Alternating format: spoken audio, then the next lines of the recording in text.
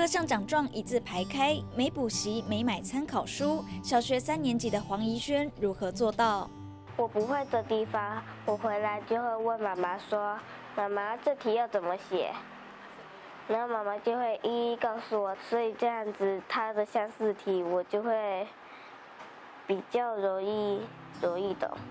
学习优秀，爱心也不落人后，折纸兴趣变成义卖产品。今年获得慈济新雅奖学金的人品典范奖，实至名归。为什么要义卖？嗯，因为我要缴功德款，因为我自己也被帮助，所以我想说也可以帮助别人。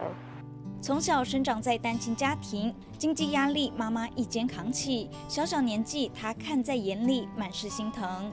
他拿到奖学金的时候，马上就会跟我说：“妈妈，钱给你。”我可以给妈妈花，因为妈妈都要付房租啊、水费、电费，所以我可以给妈妈。贴心懂事，他也已经为下次领奖做好准备。我今年是第二次得到新雅奖学金奖，我几乎得到奖的时候，我都会一直在努力想办法得到。比较好一点的孩子没办法选择父母啊，但是他们可以选择他们的未来。我们也要学会如何的让自己更好，才有那个机会能够回馈。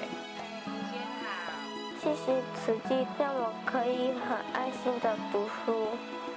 我以后也会回馈给社会大众。